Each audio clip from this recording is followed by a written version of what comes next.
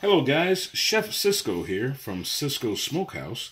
Just wanted to touch bases with you and answer a couple of questions. Someone asks, what makes Cisco's Smokehouse sausage better or different than some of the sausage you can currently buy at the grocery store? And the first thing I'll tell you is this.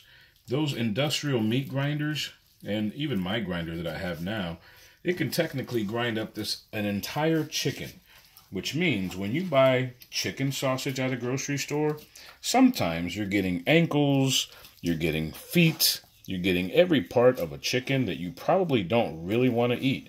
However, it's all ground up. You don't see it, you don't know it's there. But I know it's there. And that's why I choose not to. I choose not to give you bone. I choose not to give you cartilage. I choose not to give you the leftover feathers that you find on your chicken thighs sometimes. Those things get cut out. I don't want it. I won't eat it. So why in the world would I serve it to my customers?